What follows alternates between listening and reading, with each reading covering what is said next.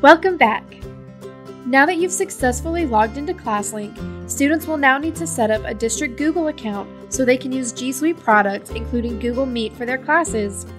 Within ClassLink, select the Google Drive icon and log in to your district Google account. Your Google username will be the first five letters of your student's last name. If you have fewer than five letters, just use your entire last name. Then add the student's first initial, followed by the last four digits of the student's ID number.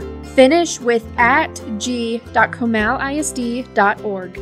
Use the same password that was used for ClassLink.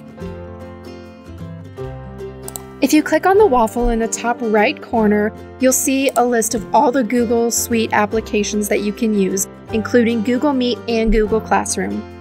Please note, if you have multiple students sharing a device, you must have a ClassLink and Google account for each student.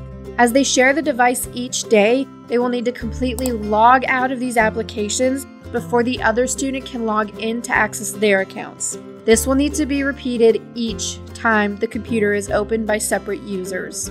If your student is using a personal device and has more than one Google account, a pop up will ask them to choose and synchronize their district Google account for use with ClassLink.